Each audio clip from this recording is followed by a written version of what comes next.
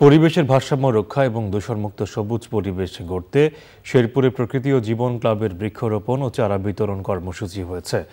শেরপুর সদরের পাকুড়িয়া ইউনিয়নের Nizamuddin Ahmad model college প্রাঙ্গণে বৃক্ষরোপণ কর্মসূচির উদ্বোধন করা হয়। বৃক্ষরোপণের এমন উদ্যোগের প্রশংসা করেন বিশিষ্ট জনেরা। হাকিম বাবুলের পাঠানো তথ্য ভিডিও চিত্রে সাবরিনা হাসানের রিপোর্ট।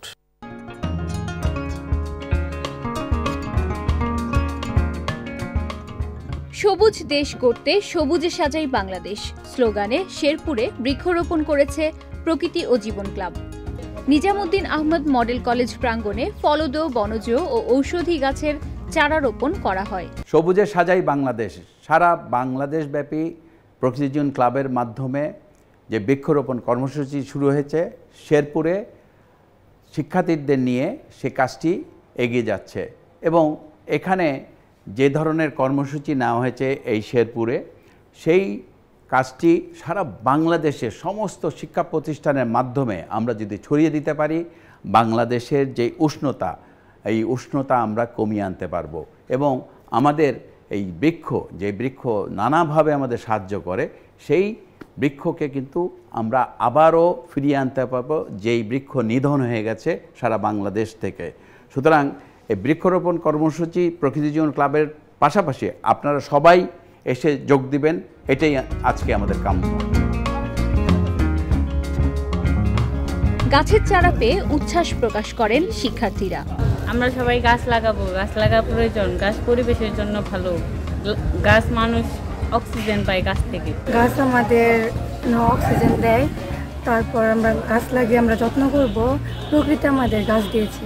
কলেজ ক্যাম্পাসকে বৃক্ষরোপণ অভিযানের জন্য বেছে নেওয়ায় প্রকৃতি ও জীবন ক্লাবের প্রতি কৃতজ্ঞতা জানায় কর্তৃপক্ষ। এমন উদ্যোগের প্রশংসা করেন প্রকৃতিপ্রেমীরা।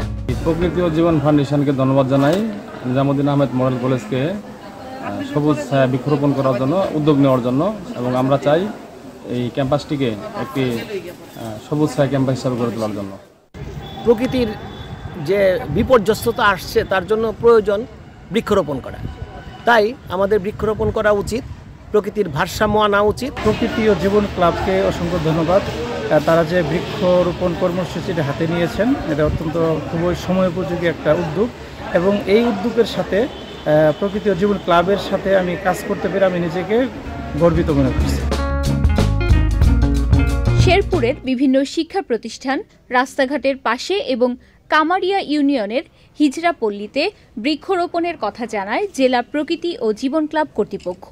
পাঁচ শতাধিক গাছ রোপণের একটা সিদ্ধান্ত নির্ধারণ করেছি এবং আমরা চাই শিক্ষা প্রতিষ্ঠানগুলো সবুজে ভরে উঠুক এবং শিক্ষার্থীরা এতে সবুজ একটা নির্মল পরিবেশে থাকবে। এই জন্যই আমরা প্রথমেই শিক্ষা প্রতিষ্ঠানকে বেছে নিয়েছি।